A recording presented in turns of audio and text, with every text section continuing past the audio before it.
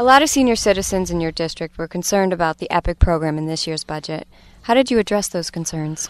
Well, the EPIC program is a wonderful program that uh, started a number of years ago. It's called the Elderly Pharmaceutical Insurance Coverage Program. And what it does is it helps those seniors who uh, cannot pay for prescription costs. And uh, in the budget this year, the governor had cut the EPIC program. We in the Senate restored it. Uh, it was a priority for me. It was important to many of the seniors in my district. And when you look at the numbers in Broome County alone, I have over 5,000 seniors on the EPIC program. Tioga County, I have about 1,200 and in Chenango County over 2,000. So this was a very important program to a number of the seniors uh, in my district. It helps them offset the very high cost of prescriptions.